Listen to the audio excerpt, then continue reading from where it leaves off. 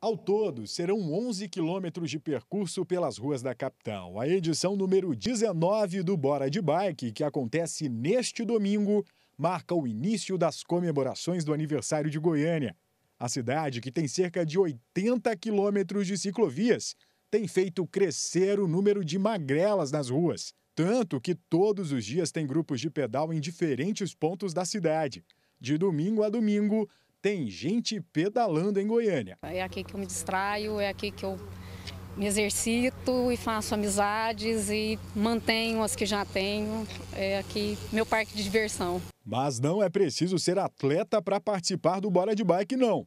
Basta gostar de pedalar sobre duas rodas. O seu Edson é um exemplo. Ele pedala 20 quilômetros por dia, sempre na ciclovia e com toda a segurança. Sempre eu trago a água, porque é importante hidratar, ainda mais com esse clima seco, né? E precaver dos acidentes, né? O capacete, a luva para não doer a mão e ando na ciclovia, não ando misturado com, com o trânsito. Por falar em segurança, pedalar exige alguns cuidados. O Fernando tem uma loja de equipamentos para ciclistas e garante que cada detalhe é importante para proteger o ciclista e a bicicleta. Se você equipar, você vai ter é, uma garantia que você, caso acontecer algum acidente, você não sofrer nenhum dano, entendeu? Segundo o prefeito Iris Rezende, essa parceria da Record TV com a Prefeitura de Goiânia quer conscientizar a população para a importância do exercício físico, da qualidade de vida e incentivar o uso dos espaços públicos. A Record está vivendo esse sentimento de uma população dos mais humildes aos mais potentes, do, do do, do, dos empresários, dos operários, da população de mestres, de alunos, vivendo esse sentimento e promovendo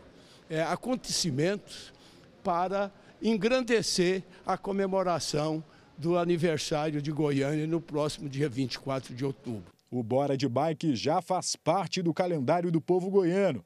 Já pedalou por várias cidades do estado e em Goiânia quer reunir, além dos apaixonados por pedal, também as famílias. Afinal, o passeio é para os vovôs, jovens, crianças e adultos. É um evento que não é uma competição, né? é um passeio ciclístico, são 10 quilômetros, num lugar emblemático, o lugar onde iniciou né, a nossa cidade, que é Campininha. Então, vai ser um evento muito bacana. Nós convidamos a toda a população para que possa prestigiar mais esse grande evento, a 19ª edição do Bora de Bike. O percurso de 11 quilômetros começa às 8h30 da manhã no Parque Campininha das Flores, em Campinas. Depois passa pela Avenida Padre Wendel, Sergipe, Rua 4 de Novembro, Rua 3, Marginal Sul, Avenida Benjamin Constant, Avenida Perimetral, Rua 504, Rua Senador Jaime, Avenida Bernardo Saião, Leste-Oeste, Avenida República do Líbano, Independência e 24 de Outubro.